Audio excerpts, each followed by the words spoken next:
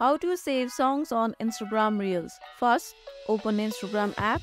Now, switch to the Reels tab. After that, find the song that you want to save. For now, this is the song that I want to save on Instagram. Next, tap on the name of the audio track. You'll find it just beside the Reels caption. Now, to save the music, tap the save icon in between share icon and three dots on the top right and your audio will be saved.